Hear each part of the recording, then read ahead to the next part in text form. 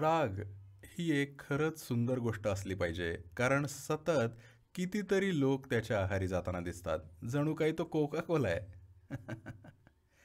याबद्दल आज आपल्याकडे पुष्कळ वैज्ञानिक पुरावा आहे की जर तुम्ही पाच मिनटं राग धरला तर तुम्ही अक्षरशः स्वतःला विष देताय. राग वैताग घृणा मत्सर हे सगळं विष तुम्ही पिता आणि कुणी दुसरा मरावा अशी अपेक्षा करता. जीवन या प्रकारे कधीच घडत नाही. तुम्ही हे विष पिताय कारण तुमचं आयुष्य ही एक अजाणतेपणे दिलेली प्रतिक्रिया बनलं आहे आजूबाजूला घडणाऱ्या प्रत्येक गोष्टीला. जर तुम्ही एक जागरूक प्रतिसाद दिलात आजूबाजूला घडणाऱ्या प्रत्येक परिस्थितीला तर तुम्ही रागापासून मुक्त व्हाल. जर तुम्ही रागात असाल तर लहान सहान गोष्टीच फक्त तुमच्या मनाप्रमाणे होतील.